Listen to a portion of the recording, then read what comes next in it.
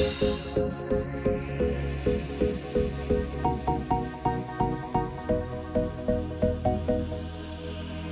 does receiving this honorary fellowship mean to you? It's really quite hard to put into words. Um, when I first received notification of it, I had to read the letter three times over and read the name at the top just to make sure it was addressed to me. Um, I'm hugely honoured uh, to be recognised in this way. Um, I don't feel deserving of it, but I'm so glad to receive it. I think when you use the word success, you need to be careful and understand what it means and how you get to be successful. And I remember once hearing this quote from um, a famous minister in the US, and he said, I made the right decisions. And then uh, he followed on, but I had to make the wrong ones first.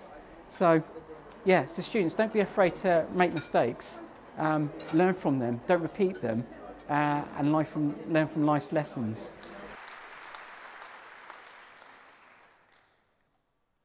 As I look around, I see innovators, entrepreneurs, future leaders, ambassadors, but above all, success.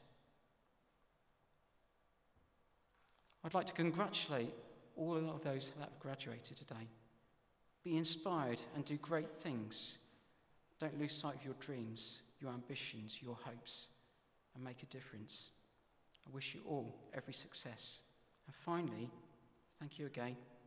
I'm humbled to receive this award, grateful to Southampton Solent University, especially grateful to Sarah Deef and the friendship that she says, as well as her knowledge and wise words.